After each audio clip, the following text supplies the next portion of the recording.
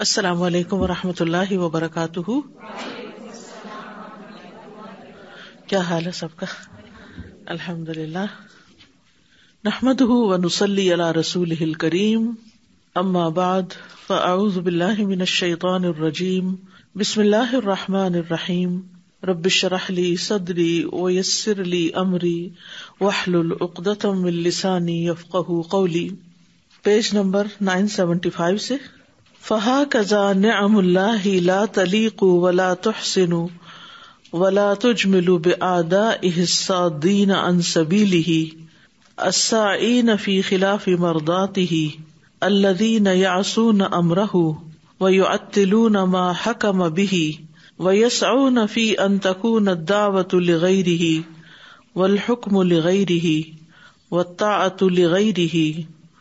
फहुम मुजादून लहू फ़ी कुल्ल मा युरीदु युवालून आदाअहु व अबगज़ खल्क़िही इलैहि व युज़ाहिरूनहुम अलल्लाहि व रसूलिही कमा क़ाल सुब्हानहु व कानल काफिरु अला रब्बिही ज़हीरा फहा कज़ा इसी तरह नियामुल्लाही अल्लाह की नेमतें ला तलीकु लायक नहीं है वला तोहसिनु और न अच्छी हैं वला तुजमिलु, और न खूबसूरत है। बेआदा दीन उसके दुश्मनों पर जो रोकते हैं अनसबील ही उसके रास्ते से।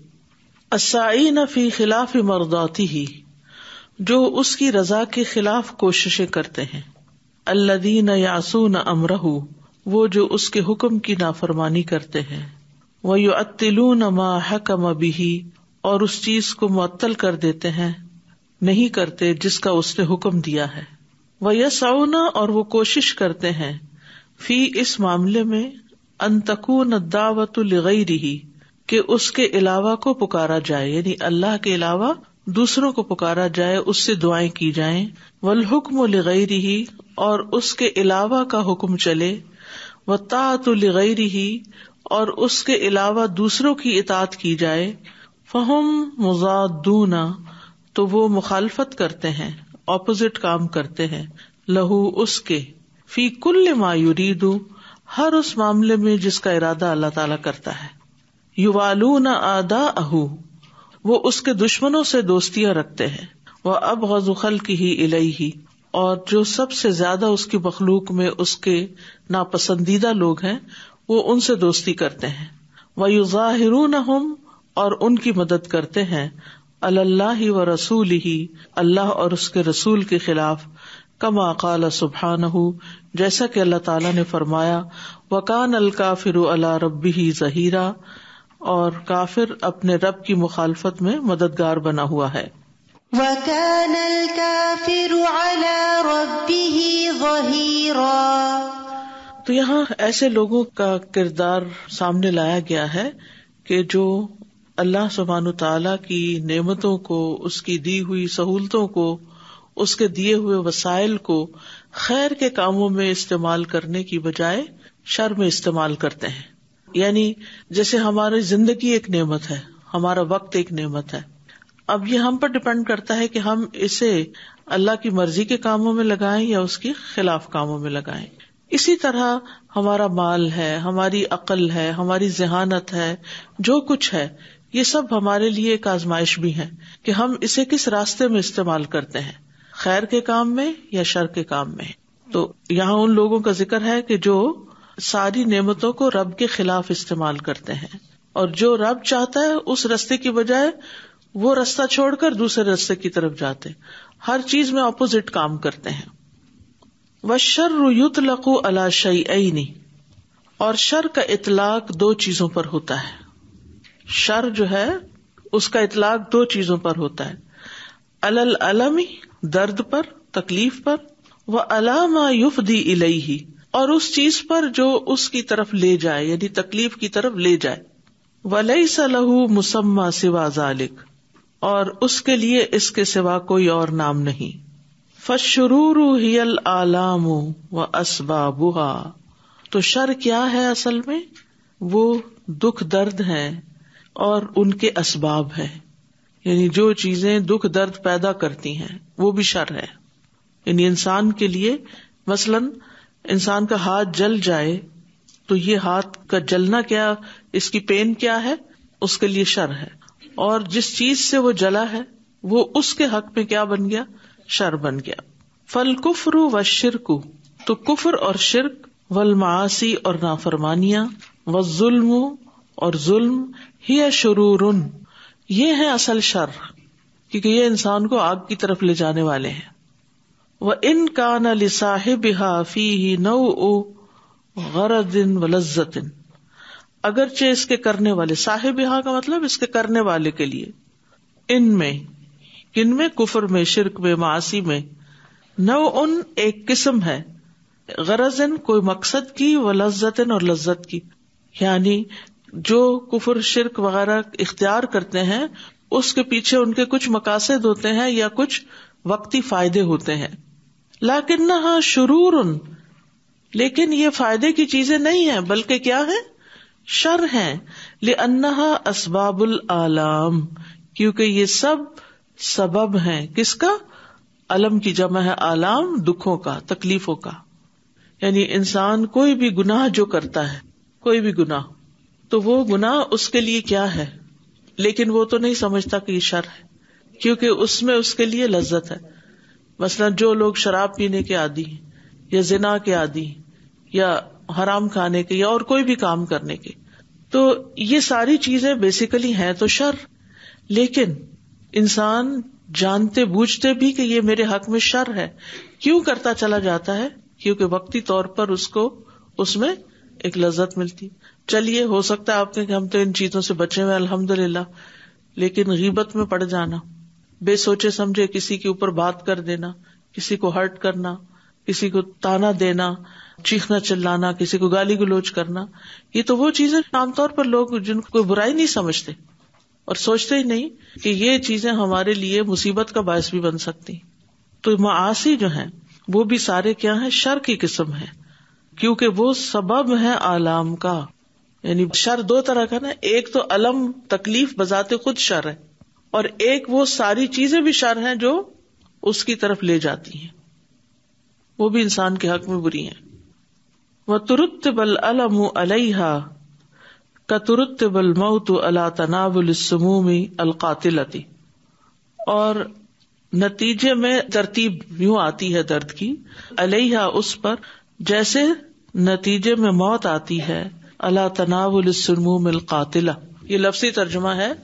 मतलब इसका क्या है कि जिस तरह जहर का खाना जो है, तनावुल सुमूम सुमूम सुम की जमा है, जहरों का खाना जो है, जो कत्ल करने वाली जहरें हैं, उनके नतीजे में मौत आ जाती है। तो बिल्कुल इसी तरह इन गुनाहों के नतीजे में अजाब आएगा। तो जिस शख्स को पता हो कि जहर खाने से मौत आती, वो क्या करता है? जहर नहीं खाता। लेकिन कितने लोग हैं जिनको ये पता हो कि गुनाह करने से अजाब आएगा? बहुत से लोगों को पता भी होता है, फिर भी करे चले जाते फिर भी उनको मरे हुए भाई का गोश्त खाने में बड़ी लज्जत आती है। वो जहाँ कहीं बैठते हैं, कोई ना कोई, किसी न किसी का किस्सा, कोई ऐसी चीज़ छेड़ बैठते हैं। किसी को भी माफ़ नहीं करते, न अपनों को, न परायों को, न नेक को, न बद को, किसी को भी नहीं। हर एक पे हंसना, हर एक को मज़ाक उड़ाना, हर एक को हकीर समझना, अपने आप को परफेक्ट समझना। तो ये क्या है? ये दरअसल शैतानी अफाल है। बुनियादी तौर पर पीछे तो शैतान ही है ना? कि जो इंसान के अंदर वसव से डालता है और उससे ये काम करवाता है और उसको बुराइयाँ खुशनुमा बना के दिखा देता है। बुराइयाँ क्या बना देता है? खूबसूरत बना देता है, खुशनुमा बना देता है। तो उसको वो जहर जहर नहीं लगता। वो जहर जहर नहीं लगता। हमारी ज़िंदगी में जो आलाम होते हैं, उसके पीछे कुछ असबाब होते हैं। मसला आप कहते हैं, आज मेरे सर में बहुत दर्द है। तो फिर आप सोचते हैं कि आज क्या ऐसी बात हुई कि सर में दर्द हो गया। सबब ढूंढते हैं या नहीं? और एक अच्छा डॉक्टर जो होता है, वो दवा देने से पहले क्या करता है? उसका सबब ढूंढता है कि इसकी असल रीजन क्या है। वरना पेन किलर तो आप घर पे भी खाते रहते हैं। कोई भी पेन किलर उठा लेंगे, आपको आराम आ जाएगा। आमतौर पर तो हम अपना इलाज ही करते रहते हैं। तो लेकिन जब डॉक्टर के पास जाएँगे तो वो कोई सा भी पेन किलर नहीं देगा आपको। वो पहले इन्वेस्टिगेट करेगा कि इसकी रीजन क्या है। और कितनी ही दफ़ा ऐसा होता है कि उस दर्द की रीजन सिर्फ़ को मामूली नहीं होती, वो बहुत बड़ी खतरनाक बीमारी होती है जो अंदर छुपी भी होती है। तो इन्वेस्टिगेशन के नतीजे में सामने आ जाती है। तो इसी तरह हमें भी ये याद रखना चाहिए कि जो हमारे ऊपर आफात या मुसीबतें आई हुई हैं, किसी भी तरह की चाहे उनको आप कोई भी नाम दे दें, उसके पीछे सबब क्या था? क्या चीज़ सबब है? मैं कहाँ कमी कर रही हूँ? मेरी ज़िंदगी में किस चीज़ की कमी है? क्या फ़िज़िकल हेल्थ के सिलसिले में मैं कोई अपने आप को इग्नोर कर रही हूँ, या मैं अपनी रूहानी सेहत के एतबार से अपनी पूरी केयर नहीं कर रही? या कोई इमोशनल प्रॉब्लम है? मसला क्या है? क्योंकि कुछ चीज़ें सरफेस पे नज़र आती हैं। मसला सरफेस पे आपको दूध की झाग नज़र आ रही उबलते हुए दूध तो उसके पीछे सबब क्या होता है? फ्लेम आग। आग कम कर दे तो वो झाग बैठ जाएगी। तो जब भी कोई आपको चीज़ नज़र आती है ना तो आप फ़ौरन देखते हैं कि ये हो क्यों रही है? कहीं से आपको आवाज़ सुनाई दे रही मसलन तो आप फ़ौरन, चारों तरफ़ करके देखते हैं कि किस चीज़ की आवाज़ है। क्या है ये? यानी सबब ढूंढ रहे होते हैं। कोई भी अनयूजल चीज़ होती है। सबब ढूंढते हैं। तो इसी तरह हमारी ज़िंदगी में कुछ चीज़ें ऐसी हैं, कुछ आजमाइशें ऐसी होती हैं कि जिनके पीछे कोई ना कोई हमारा गुनाह होता है, लेकिन हमें वो नज़र नहीं आ रहा होता। हम उसको करके भूल चुके होते हैं और वो हमारे लाशूर में उतर चुका होता है। और फिर वहाँ जाकर वो तूफ़ान खड़ा कर देता है। और वो सिर्फ़ एक नहीं होता। एक गुना होता है ना, काला नुकता लगता है उसको धो देते हैं तो बात खत्म हो जाती तो बस।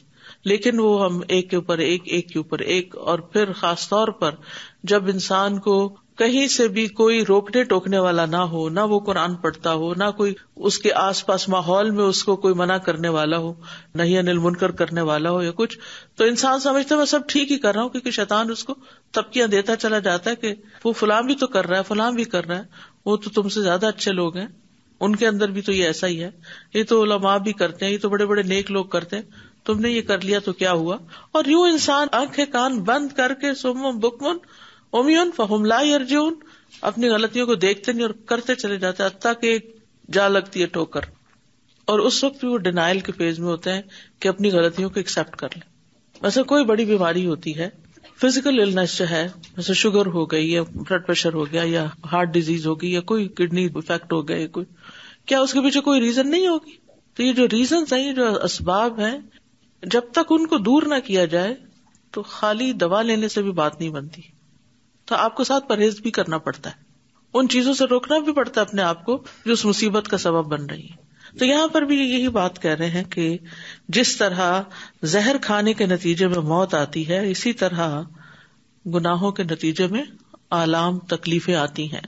व अलजब ही वल एहराक बिन्नार व नहविजाले इसी तरह जबा करने के नतीजे में भी मौत आती है और आग में जलाने से भी मौत आती है, वगैरह वगैरह। मालम यम न सबबू माने उन जब तक को रोकने वाला नहीं होता। और यू आरद सबबा, या सबब के कोई मुआरिज ना हो ऑपोजिट ना हो। माँ हुआ अकवा मिन हो जो उससे ज़्यादा कवि हो। जैसे आग है तो पानी डाल दिया जाए। कमा यू आरद सबबी कुत ईमान। जिस तरह मुआरिज होते हैं मुआरिज होते हैं ऑपोजिट होते हैं, गुनाहों के इसबाब ईमान की कुत के। यानी जब गुनाह करता इंसान तो ईमान की कुत घटती चली जाती है। वह अजमतुल हसनात माहिया व कसरत और भलाइयों की, यानी कि जो अजमत है या ज़्यादा होना अलमाहिया मिटाने वाली है वह कसरत हुआ और उनकी कसरत। अजमा व कसरत दोनों किसके लिए? हसनात के लिए। फयजीद फ़ी कमियत व कैफियत तो बढ़ जाती हैं अपनी मकदार में और अपनी कैफियत में। अला असबाब अजाबी, अजाब के असबाब पर हावी हो जाती हैं। फैद फ़ुल अकवा अल अदअफ तो जो कभी होता है, वो जयीफ को दबा जाता है। कि जैसे कुरान मजीद में आता है इन नल हसनात युद्ध सयाद याद रखिए, कोई भी इंसान परफेक्ट नहीं।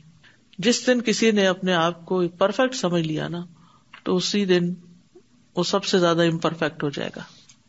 आप इससे अंदाज़ा लगाइए कि वो फरिश्ता जो अपनी पैदाइश के दिन से लेकर मौत तक, क्यामत तक सजदे में पड़ा हुआ है, जब वो उठेगा तो कहेगा वह अबदना का हक का इबादत अल्लाह हमने आपकी इबादत का हक ही अदा नहीं किया। उसने ज़िंदगी में पूरी ज़िंदगी कोई और काम किया ही नहीं, क्योंकि अल्लाह सुबहान तला की शान उसकी अजमत इतनी बड़ी है, उसका मकाम इतना बुलंद है, उसके हुकूक इतने ज़्यादा है, उसकी तरफ़ से मिलने वाली नेमतें इतनी ज़्यादा है कि उसका हक तो हम अदा कर ही नहीं सकते। तो कहा कोई ये कहे कि मैंने तो डन इनफ बहुत कर लिया, बहुत नहीं किया। कुछ भी कर ले। तो जब इंसान सारी ज़िंदगी भी सज्जे में पड़ा रहे तो भी वो परफेक्ट नहीं हो सकता। फिर भी कमी रह गई, फिर भी हक अदा नहीं हुआ। तो ऐसे में इंसान ये सोच बैठे कि मेरे से तो पता नहीं कौन सा गुना हुआ है जो मेरे ऊपर मुश्किल आ गई है। पता क्यों नहीं? पता होना चाहिए। अगर नहीं तो अल्लाह से दुआ करें कि अल्लाह ताला दिखा दे। यानी हम एक डिनाइल मोड में होते हैं। एक्सेप्ट ही नहीं करना चाहते। तो बहरहाल, खुलासा क्या है सारी बात का? कि शर जो है या तो खुद पेन है, या वो चीज़ जो पेन कॉज करती है, दुनिया में भी और आखिरत में भी। दुनिया में फ़ायदा यह है कि जो चीज़ें पेन कॉज कर रही हैं, उनका मुकाबला करने मुआरजा का मतलब था मुकाबला।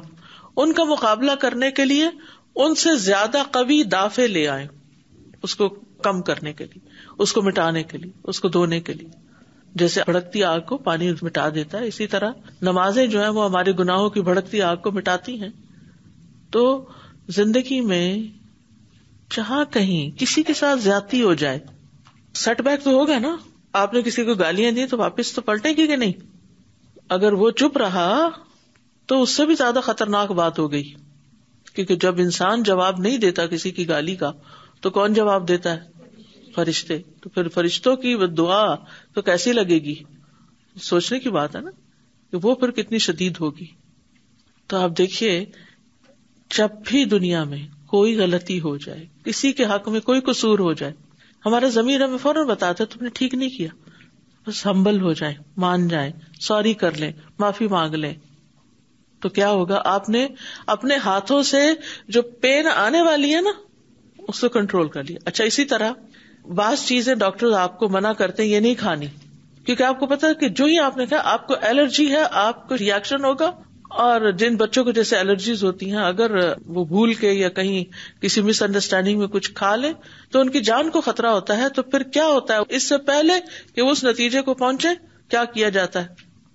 स्ट्रांगेस्ट इम्यून मेडिसिन दी जाती है ताकि वो रिकवर कर जाए फ़ौरन। तो हमें इस दुनिया में भी और आखिरत के लिए भी पेन कॉज करने वाले जो फैक्टर्स हैं, उनसे ज़्यादा स्ट्रांग चीज़ें लाने की ज़रूरत है।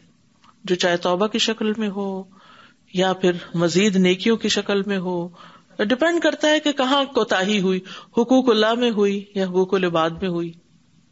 ये देखे ना, फयजीद फ़ी कमियत व कैफियत अला असबाबिल अजाबी फयद फउल अकवा अल अदफ समझ आ गई? यानी फिर ज़्यादा हो जाती है अपनी मकदार और कैफियत में अजाब के असबाब पर तो कभी जो है वो ज़यीफ को खत्म कर देती है। Assalamualaikum. Subhanallah. Ustadha, just today we were doing in Tahara the proper way of wudu and the benefits of wudu. Subhanallah, this is such a strong link that subhanallah our saints daily Allah, Allah is giving us opportunity to get rid of our sins from our hands, ears, feet, hands and also then the dua that we do after that. Subhanallah, this Allah Ta'ala is giving us, and if we do that, and, and then we do istighfar daily from our mouth and heart also, Allah Ta'ala is giving us a way that we can be of those who have nur in their, in their face and everywhere in, in, in, in, in akhirah. यानी क्यों अल्लाह ने हमें ये दिए हैं कभी सोचा हमने हम इसको क्या समझते हैं बर्डन ये फिर वजू करें अल्लाह खासतौर पे सर्दियों में बार बार वज़ू करें, वज़ू करना पड़ रहा है। नमाज़ इतनी मुश्किल नहीं जितनी वज़ू करना मुश्किल है। लेकिन हम भूल जाते हैं कि ये वज़ू हमारे लिए क्या करने वाला है। फिर हम कहते अच्छा मैंने ज़ोर से असर तक तो कोई गुनाह नहीं किया, क्योंकि हमें नज़र नहीं आता होता। तो कभी ज़िंदगी में किया, कभी ज़िंदगी में सिर्फ़ फजर की नमाज़ छोड़ी छोड़ी कभी। कोई ये दावा कर सकता है कि मेरी आज तक कोई भी नमाज़ कजा नहीं हुई। कोई कह सकता है? For any reason. अगर आपने छोड़ी तो क्या आपने अल्लाह के हक में कमी की कि नहीं की? की या नहीं की? अगर की तो उस पर सच्चे दिल से रो रो के कोई तौबा भी की? जब हमारी नमाज़ आगे पीछे हो जाए तो हमारा रिएक्शन क्या होता है? हमारे दिल पे क्या गुजरती? कुछ गुजरता भी है कि ऐसे ही सभी की कजा हो जाती? मेरा क्या कसूर? रश इतना था ट्रैफ़िक में फंस गई थी, आँखें नहीं खुली। अपने आप को कोई ना कोई उजर बहाना दे के तो हम क्या करते हैं? हम ऐसे निकल जाते हैं उसमें से जैसे हमने कुछ किया ही ना हो। जैसे हमारा तो कोई कसूर ही नहीं है। तो वह ऐसे पे तौबा क्या करेंगे उस पर? कहाँ से तौबा करेंगे? और कैसी तौबा करेंगे? वो तौबा कितनी जानवन होगी, कितनी सच्ची होगी? हाँ ये सोच के भी छोड़ देते, कजा पढ़ लेंगे। तो किसने आपको कहा कि आप जानबूझ के नमाज़ छोड़ सकते हैं? इन्ना लाह इन्ना राजून जो जानबूझ के नमाज़ छोड़े, गोया उसने कुफर किया। उसका एहसास ही नहीं होता हमें। यानी असल मुश्किल पता है क्या, हम गुनाहों को गुनाह ही नहीं समझते। और फिर जब उनका कोई नतीजा निकलता है ज़िंदगी में, किसी पेन की शक्ल में तो हम कहते हैं ये क्या हो गया मेरे साथ? ये क्यों हो गया मेरे साथ? मैंने तो कभी कुछ किया ही नहीं, क्योंकि हमने अपने गुनाहों को ही एक्सेप्ट नहीं किया। तो उन्हें धोएँगे कहा? तो एक भी वज़ू शौरी तौर पर यह सोच के कर लें कि ये गुनाहों को दो रहा है ये वॉश आउट कर रहा है सब कुछ। तो आप सोचिए कि सिर्फ़ उसी एक वज़ू से ही कितना फ़ायदा हो सकता है कि असबाबुल आलाम, ये अल्फाज अगर अरबी में याद कर लें, यानी कॉज ऑफ़ पेन्स तो ये उस कॉज ऑफ़ पेन को दूर करने वाला है। I was just thinking, Saza, many times, you know, interacting with children. If they do something wrong, we always come up with some reason in their defi- or deficiency in their mannerism that you didn't listen to me, that's why this happened to you. Hmm. And I was telling you, but you, but many times when they are not listening to us or they are giving us trouble, we don't look at our attitude or our deficiencies. Maybe something that we have shown or we have not shown is causing them, you know, maybe disobedience from them or, you know. Yeah, careless attitude Many times we don't look at ourselves and we start pointing fingers on others. बिल्कुल सादा जी, ये जो आपने अभी allergy की example दी ना तो मेरे बेटे को एलर्जीज हैं नट्स से। बचपन से ही थी, बहुत छोटी उम्र से। तो जब तक वो इन्फेंट था तो हमारी ज़िम्मेदारी थी केयरफुल रहने की। लेकिन जब उसकी शौर की उम्र हुई तो फिर उसको भी टीच किया। और उसकी कॉन्शियसनेस का लेवल अल्हम्दुलिल्लाह इस हद तक बढ़ा दिया, अल्हम्दुलिल्लाह, कि एपीपेन रखते थे हम घर में, लेकिन कभी ज़रूरत नहीं पड़ी उसको इस्तेमाल करने की, क्योंकि वो कहीं भी जाता था, कुछ भी उसको खाने को मिलता था या कुछ भी होता था तो ही वॉज़ केयरफुल कि वो पूछ लेता था कि इसके इंग्रेडिएंट्स क्या हैं। तो मतलब हमारा कॉन्शियसनेस का लेवल वाकई ऐसा हो कि हमें पता हो कि आगे आने वाली मुसीबत कितनी बड़ी होगी उस पर हमारा यकीन भी हो तो हम फिर अपने आप को बचा सकते हैं बहुत सारी मुसीबतों से। फिर कॉन्शियस ज़िंदगी बसर करेंगे ना और यही तकवा है। Well, it just remind me of something. Uh, once Nafi was visiting us, and um, I was about to serve him something, and Alhamdulillah, I always know what he can eat and what he cannot eat. So there was something that I used to get, and I knew the ingredients, and I used to bring it for quite a long time. That day when he was visiting us, he said, can I still check the ingredients? I said, I've checked it, and I've been bringing it for so many, you know, uh, months now. So he said, I still want to check the ingredients. And subhanAllah, alhamdulillah, alhamdulillah, that he checked it and there was something uh, that he picked up. And they had changed something in the ingredients which I did not know of. So alhamdulillah that... Uh, तो हलाल हराम के बारे में भी क्या हम इतने कॉन्शियस होते हैं कि दोबारा आज ले रहे हैं दोबारा चेक कर लें? यानी ओवरऑल क्योंकि जिस मुल्क में हम रहते हैं वहाँ किसी वक्त कुछ भी हो सकता है। जी आज ही हम लोगों ने आयत पढ़ी लन तनालुल तो ये पैरा फ़र्स्ट पैरा से इतना बड़ा कनेक्शन मुझे लगा कि जैसे अजाब का सबब गुनाह है। उसी तरह नेकियों का सबब हर वो चीज़ जो अल्लाह की नेमत है अल्लाह के हुक्म के मुताबिक उसको खर्च करना। बिल्कुल। और एक चीज़ मैं आपसे डिस्कस करना चाहती थी एक इमाम ने खुतबे में कहा था कि अगर किसी को कोई तकलीफ़ आती है तो वो किस तरीके से पहचाने ये अल्लाह की तरफ़ से आजाब अजाब है या आजमाइश? तो उन्होंने कहा कि अगर उस तकलीफ़ पे आप अल्लाह के करीब आ जाते हो तो वो अल्लाह की तरफ़ से टेस्ट था जो आप पास कर लिए। या अगर आप अल्लाह से दूर हो जाते हो तो वो आपके गुनाहों की वजह से। तो फिर एक होता है हमारा टेस्ट और एक होती है हमारे लिए आजमाइश होती है। और ये जो बात है कि अगर कोई टेस्ट जो है वो हमें अल्लाह के करीब कर दे तो वो हमारा एक इम्तिहान है। और अगर दूर करे तो वो अजाब है। और ये सिर्फ़ तकलीफ़ नहीं, नेमत भी। नेमतें भी आजमाइश है। नेमत जो है, अगर हमें अल्लाह से करीब कर रही है, मसलन आपको अल्लाह ने गर्म पानी दिया है, सर्दी में ठंडे पानी का मसला नहीं, मशक्कत नहीं, कहीं से भर के नहीं लाना होता, घर के अंदर मौजूद है, ये सारी नियमतें आप इनको पाके क्या वक्त पे नमाज़ के लिए उठते हैं? या फिर इनका सही इस्तेमाल करते हैं? या इनको वेस्ट करते हैं? और इस्तेमाल करने के बाद क्या शुक्र भी अदा करते हैं? कितनी बार हमने गर्म पानी पे जो ऑटोमेटिकली मिल जाता है, कभी शुक्र अदा किया अल्लाह तेरा शुक्र है, कि तूने मुझे किसी ऐसी जगह पैदा नहीं किया, कि जहाँ लकड़ियाँ जला के लोग पानी गर्म करते और सुबह के वक्त उठ के घर से, कमरे से बाहर निकल के लकड़ी को जलाना और ठंडे पानी को भरना, किसी कुएँ से या किसी नलके से, फिर उसको गर्म करना तो वो कैसी कैसी मशक्कत काटते हैं? तो उसके मुकाबले में हम तो एक टच करते हैं और पानी निकल आता है। लिटरली टच ही कर रहे हैं ना। कुछ भी मशक्कत नहीं करनी पड़ती। लेकिन वो शख्स हो सकता है कि शुक्र अदा करे कि अल्हम्दुलिल्लाह, कि पानी गर्म मिल गया। लेकिन हम कैसा शुक्र अदा करते हैं? फल असबाब वल मासी अल्लती फीहा लज्जत उम्मा ही शर्रुन। व इन नालत बेहन नफ्स मसरतन आजिलतन। तो असबाब और गुनाह। जिनमें कुछ भी लज्जत है लज्जत उम्मा ही अशर्रुन, वो शर है। वो क्या है हमारे लिए? शर। व इन नालत बेहन नफ्सु, अगरचे पाले उसके साथ नफ्स मसरतन आजिलतन, जल्द मिलने वाली खुशी। गुनाहों से अगर जल्द मिलने वाली खुशी भी पाले इंसान तो भी वो हमारे लिए क्या है? शर है। वही अब मंजिलत तामिन शहीन और वो मज़ेदार खाने के मकाम पर हैं लाकिन नहू मसमूम लेकिन वो जहरीला है। फहाज मासी व जुनूब तती बिल बलाई व तुजील नम तो ये गुनाह और नाफरमानियाँ बलाएँ लेकर आती हैं और नेमतों को जायल कर देती हैं।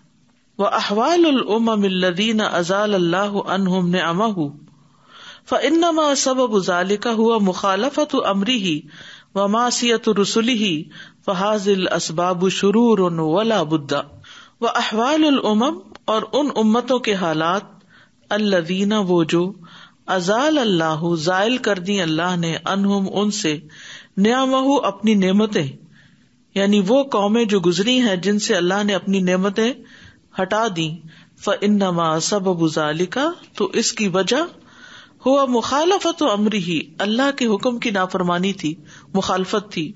व मासीत रसुल ही और उसके रसूलों की मासीत फहाजिल असबाबू तो ये सब असबाब हैं। शुरूर शर, वला बुद्धा और लाजमी तौर पर शर है। व अम्मा कौन मुसबातिहा शुरूरन, और जहाँ तक उसके नतीजे में पैदा होने वाले मुसबात जो हैं, उसके लिए शर है। फल अन्ना आलाम नफसियत व बदनीयत तो वो इसलिए कि वो नफसियाती और जिस्मानी तकलीफें हैं। फयजतम अला साहिब माँ शिद्दत अलम हिस्सी अलम रूह।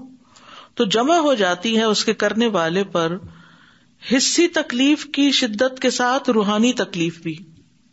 यानी कुछ चीज़ें तो जो गुनाह है वो शर है, लेकिन तकलीफ़ पैदा करने वाले जो असबाब हैं वो भी शर हैं, क्योंकि उससे नफसियाती और जिस्मानी तकलीफें पैदा होती हैं।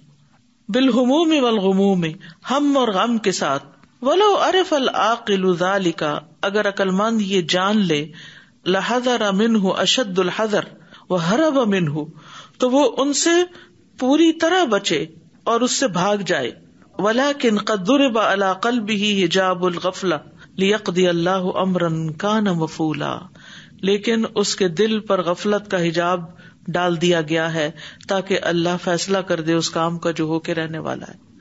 यानी इंसान को पता होने के बावजूद कि ये चीज़ गुनाह है, फिर भी वो करता है। क्यों करता है? उसकी एक वजह यह होती है कि उसके दिल पर गफलत का पर्दा होता है। वो केयरलेस होता है, परवाह नहीं करता। किस कदर इंसान धोखे में है। व इन्नमा यजहर लहू हाज हक जहूरी इन द मुफारकती हाज आलम वल वसूली इला आलम बका और ये ज़ाहिर होगा उसके लिए सही मानों में ज़ाहिर होना जब वो इस दुनिया को छोड़ेगा और आलम बका को पहुंचेगा फहीन इजन यकूलू उस वक्त कहेगा या हसरता अलामा फर्रत फ़ी जम्बिल्ला व इन कुंतुलमिन साखिरीन हाय मेरी हसरत, हाय अफसोस मुझ पर, जो मैंने अल्लाह की जनाब में कोताही की, और यकीनन मैं तो मज़ाक उड़ाने वालों में से था। बहुत ही गहरी बात की है इन्होंने। कई दफ़ा ऐसे होता है ना, कोई शख्स दीन पर अमल कर रहा होता है तो हम उसका मज़ाक उड़ाने लगते हैं। हम कहते हैं, इतनी भी क्या सख्ती? तुम इतनी भी क्या रिजिड हो गई हो? अब ये भी तुमने अपने ऊपर बंद कर लिया, ये भी नहीं करना, ये भी नहीं देखना, वहाँ भी नहीं जाना, ये भी नहीं। ये तो कोई बात ना हुई इतना सा करने से क्या हो जाएगा? तो हम इस तरह कर करके हराम को हलाल करवा लेते हैं। और जो कहने वाला है, वो भी मुसलमान है। लेकिन वो क्यों कह रहा है? क्योंकि उसके अपने दिल पे गफलत का पर्दा पड़ा हुआ है और वो दूसरे पे भी डाल रहा है। इन बातों की हकीकत दुनिया में बाजुकत नहीं खुलती, लेकिन मौत के वक्त खुल जाएगी। उस वक्त इंसान को सारी ज़िंदगी का अमाल नामा नज़र आने लगेगा। कहाँ कहाँ कहाँ डंडी मारी, कहाँ कहाँ वक्त था, कहाँ कहाँ रिसोर्सेज थे किस तरह मैं इस ज़िंदगी को ज़्यादा बेहतर काम में लगा सकती थी? और क्या मैंने कोताही की? अलामा जम बिल्ला मैं किस किस काम से अल्लाह को राज़ी कर सकती थी? मेरे पास कितनी सारी अपॉर्चुनिटीज़ थी। कितने सारे वसाइल थे। मैंने उनको और चीज़ों में लगा दिया। मैंने अपने माल को कहाँ लगा दिया? अपने वक्त को कहाँ लगा दिया? अपने टैलेंट को कहाँ लगा दिया? मैं तो इससे बेहतर काम कर सकती थी।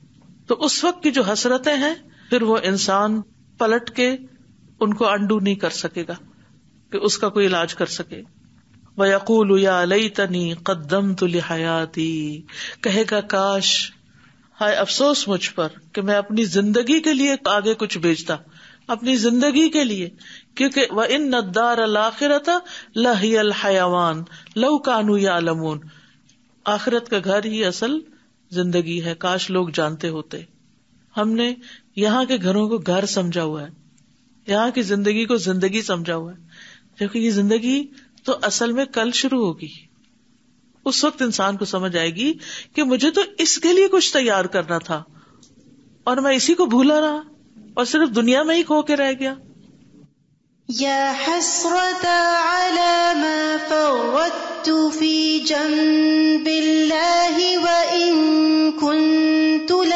साखिरीन। यकूलु या लैतनी कद्दमतु लिहयाती जैसे अभी कल आ, मेरे बच्चे निकले हैं ट्रैवल करने के लिए जब एयरपोर्ट पे पहुँचे तो मेरी बहू कहने लगी कि हम लोगों को अलाउड था टू टू सूट केसेस लेकिन हमें पता ही नहीं चला और हम एक एक सूट केस लिए मतलब आप सोच नहीं सकती वो वहाँ पे जा रही है अपने अब्बू के उसके अम्मी का नया घर बनाया और उनको बहुत सारा सामान लेके जाना था। और लोगों ने भी दिया मेरा भी छोड़ गई घर पे सबको जो लेके जाना था। तो छुट्टे साथ ही मैंने ये बात की कि देखो इसी तरह हमें आखिरत में ना कभी ये ख्याल आए कि देखिए कितना सामान हम लेके जा सकते थे निकियों का और हम घर छोड़ आए। ये काम भी कर सकते थे ये काम भी कर सकते थे। और उस वक्त हमारे पास सामान ही ना हो। लिटरली जो कुछ हम कर रहे हैं ना इससे ज़्यादा कर सकते हैं। लेकिन हम अपने ऊपर खामखा का तर्स खाते रहते हैं। अपने आप को ढील देते रहते हैं Assalamualaikum. We also learned from the story of Nuh alayhi salam today in our lesson that the elite were looking at the apparent intelligence and the apparent gains of this world and the sudden gains and pleasures. And they did not realize that the people, Nuh alayhi salam and his people who were following them were actually more intelligent and they were looking at the real end. So sometimes the apparent pleasures really do it just reminded me, I was having a discussion with one of my classmates in the university. And I got very close to her, you know, while I was there. And I was trying to convince her about not drinking and not going to the bar and everything. So I just said, okay, I asked her, give me just one good, you know, reason, reason. that you would do it. She was very lonely. She didn't have any friend as such. She said that when I go to, to the bar or to the nightclub, if I don't drink enough, I can't dance. And if I can't dance, I don't feel that I have, I'm very less. You know, so just to feel light-hearted, I have to drink enough so that I, I don't feel the pain in dancing because she was very heavy. She said if I start dancing, my back would start hurting, my leg would start, you know, pulling a nerve. So just to get rid of those pains, I drink enough so that I don't feel the pain in dancing and I can keep dancing. I was like, Ya Allah, this is like such a small gain that she was looking for. And there was so much a huge shut in it. Sada, I was thinking about the previous section that we read, and I was thinking about the ayah of Surah Shams,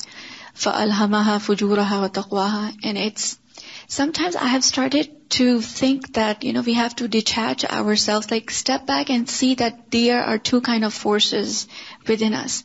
And really analyze that what do we have to do, because sometimes we are so, I don't know, engulfed in one of the thing and we're like, why is this happening? And it becomes so hard to actually admit it. Because, you know, as you said, shaitan makes it so, you know, like beautiful that whatever you're doing, it, and he also makes it so hard to take the accountability. And I think once you kind of overcome it, and you can overcome it with the sabab, you know, with the Quran and with, you know, whatever Prophet has taught us, and then you take that step and then you start feeling this kind of, you know, relief. But I don't know, I just started to feel this very kind of, it's, I think it's just my personal reflection that it's just, you know, you have to step back and see that you have to take lead you know, from here, from your mind and understand that you cannot become that, no, because I don't feel like it, I'm just not going to do it. This has nothing to do with it. Mm-hmm. Feelings cannot overcome, you know, the rational kind of decision making. Sazaji, just wanted to share this um, personal experience about this ayah, Laytani qaddamtu li hayati. I set up an alarm to wake up for tahajjud time and when the alarm, the background is that the, my daughters, they just put the Quran uh, whole night for the kids so that sleep peacefully. So I set up the alarm and uh, alarm rang and I was about double minded, should I or shouldn't I? You know, like in the middle of the sleep you feel that way. But right at that moment when I was double minded to wake up or not, this ayah played on their recorder. Ya laytani qaddamtu lihati. So all my sleep was gone and I jumped out of the bed. So I would ask all those ladies who have problem waking up, just make this ayah as your alarm and inshallah it won't let you sleep, go back to sleep without missing fajr time inshallah. It is so scary. इसकी pen and cause की एक example बहुत अच्छी मैंने पढ़ी थी और मैंने अपनी वन ऑफ द वर्कशॉप्स में भी बताई थी कि जैसे if you have a piece of cake in the fridge and you are not allowed to eat it and if you if this it's lying there people will be tempted to go and take out and eat it. So the psychologist who was treating the patients, they said, go and remove the cause. Don't keep things in the fridge so that you, do, you are not tempted to go there. यानी फितने की जगहों पर ही न जाए वलम्मा कान sir हुवल आलाम व असबाबुहा और जबकि sir और वही आलाम और उनके असबाब हैं यानी दो चीज़ें हैं शर कानत इस्तेआजात नबी सल्लल्लाहु अलैहि वसल्लम तो नबी सल्लल्लाहु अलैहि वसल्लम की सारी वो दुआएँ जिनमें पनाह मांगी गई जमी उहा मदारुहा अला हाजैन लसलैन। उन सब का मदार या वो सब बेस करती हैं इन दो असल पर। फकुल्लो मस्ताज मिन हु औ अमर बिल इस्तेआजत मिन हु फहुआ इम्मा मुलिमुन व इम्मा सबबुन युफदी इलही। तो आपने इस्तेआजा का हुक्म दिया, जिस चीज़ से वो खुद या अलम देने वाली है, या अलम की तरफ़ सबब है, अलम की तरफ़ ले जाने वाली है। यानी नबी सल्लल्लाहु अलैहि वसल्लम की जितनी भी ताबुजात हैं अल्लाह इन्नी अऊजुबिका से जो दुआएँ शुरू होती हैं, वो इन्हीं दो चीज़ों पर बेस करती हैं। या तो अलम पर या अलम के असबाब पर। फकाना यतअब वजूफी आखिर सलाती मिन अरबाइन। आप सल्लल्लाहु अलैहि वसल्लम नमाज़ के आखिर में चार चीज़ों से पनाह मांगते थे। वह अमारा बिल इस्तेआजत मिन हुन्ना और आपने हुक्म भी दिया कि इनसे पनाह ली जाए। वहुन्ना अजाबुल कब्र व अजाबुन्नार वो हैं कब्र का अजाब और आग का अजाब। वहाजानी आजमुल मुलिमाती और ये जो हैं दर्द देने वाली चीज़ों में सबसे बड़ी हैं। वह फितनत महया वल ममात, और ज़िंदगी और मौत के फितने से। वह फितनत मसीह दज्जाल, और मसीह दज्जाल के फितने से।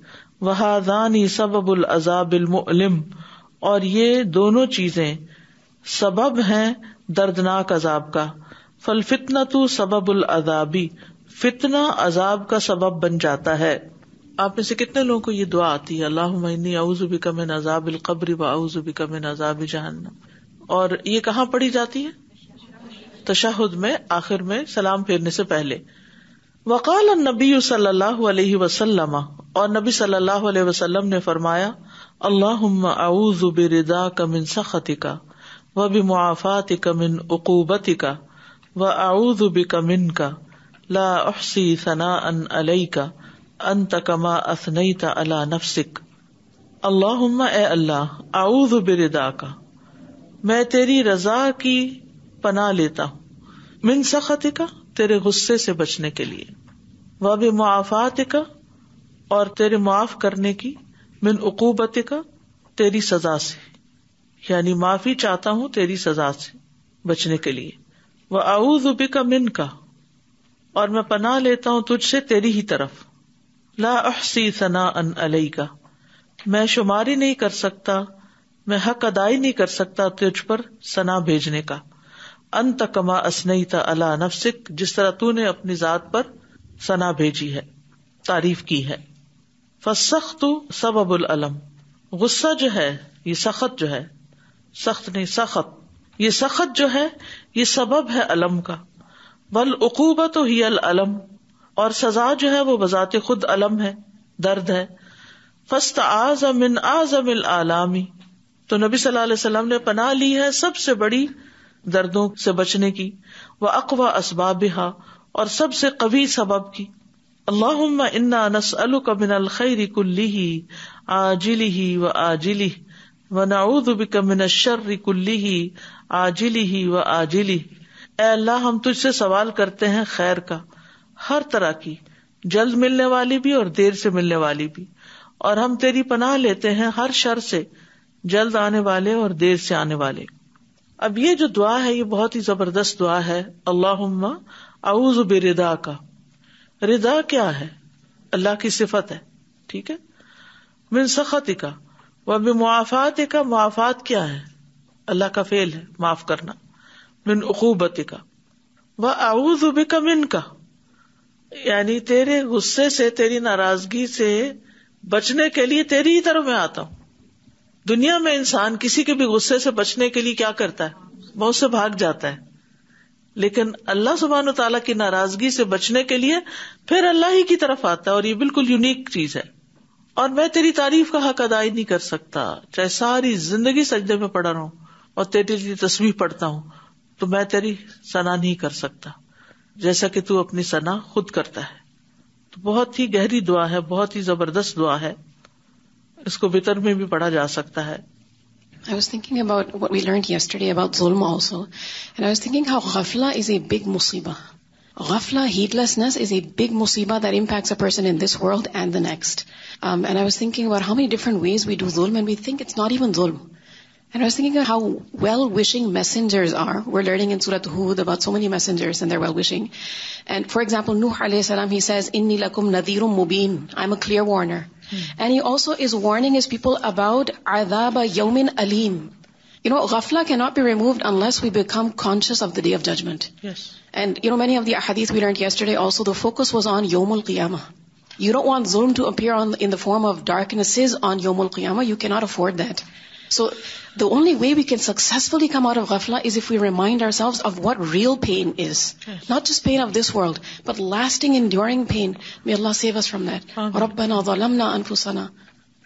You know, we've wronged ourselves. May Allah have mercy on us and forgive us. ये आज की सबक से समझ में आया कि आलाम और आलाम जो है उनसे बचने के लिए माहौल और मजलिस जरूरी है जुड़ेंगे कहीं तो एहसास भी होगा गुनाहों का या बुराइयों का और उनसे गफलत बचने भी की दूर कोशिश होगी। देखिए ना, जैसे आग होती है तो चाहे कोई बच्चा पैगंबर भी बनने वाला हो, जैसे मूसा अलैहिस्सलाम के बारे में आता है ना, कि उन्होंने अंगारा पकड़ लिया था। अल्लाह आलम, कहानी में सच कितना, लेकिन मशहूर यही है। तो बच्चा आग को क्यों पकड़ लेता है? या हीटर के पास जाता है, या स्त्री के पास जाता है, क्यों पकड़ता है? पता नहीं, इल्म नहीं। अच्छा बड़े होकर इल्म हो जाता है कि आग जलाती है, लेकिन कई दफ़ा बड़े बड़े लोगों को आग लग जाती है। वो कैसे लगती है? गफलत की वजह से उन्हें पता नहीं होता कि वो हाथ उन्होंने बढ़ाया और फ्लेम ने उनके कपड़े को भी पकड़ लिया और उन्होंने हाथ नीचे कर दिया और वो फ्लेम जो है वो कमीज को भी लग गया और कहाँ तक जिस्म को जला गया। तो लाइल्मी जहालत और गफलत, ये चीज़ पेन का सबब है। गुनाहों का सबब है और फिर गुनाह पेन्स का सबब है। तो बहुत ज़रूरी है कि इल्म भी हासिल किया जाता रहे और उसके साथ साथ दूसरी चीज़ क्या ज़रूरी है? ऐसी मजालिस, ऐसे मौके, ऐसी इबरत की जगह जहाँ से इंसान को वाकई सबक हासिल हो। यानी वो तमाम वाकयात, लोगों की ज़िंदगी से, आखिरत के वाकयात से, इन चीज़ों से सबक लिया जाए। वरना इंसान बहुत जल्द भूलने वाला है। अल्लाह ताला हम सबको महफूज रखे। तो हम किस चीज़ को शर समझते हैं? शर की डेफिनेशन ही बदल गई ना। हम अपनी ज़िंदगी में, फुला बंदा मेरे लिए मुसीबत है, ये काम मुसीबत है, ये शर है, वो शर है, जादू शर है, वो कोरोना शर है, फुला शर। ठीक है, ये आरजी वक्ती शर है। ये दुनिया की तकलीफ़ बढ़ाने का ज़रिया है। लेकिन असल शर तो वो है जो हमेशा हमेशा की मुसीबत में डालने वाला है। उसको दूर करने की ज़रूरत है। सुबहानक बिहम्दिका अशहदु अल्ला अंत अस्तगफिरुका व अतूबु इलैक अस्सलाम वालेकुम व रहमतुल्लाहि व बरकातुहू